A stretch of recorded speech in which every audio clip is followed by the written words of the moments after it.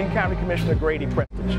Today we're at the scene uh, of the Fort Bend County Health Fair, uh, co-sponsored by Access Health, our local federally qualified health center, Fort Bend County, uh, Commissioner's Office, Fort Bend County Precinct 2 Constable's Office, City of Missouri City, and a host of other private and, and public providers. In the backdrop, you see a tent over there that's uh, um, the emergency preparedness tent for Fort Bend County. Fully air-conditioned, mobile uh, emergency command center that we're showcasing for the first time out here so the citizens can see it.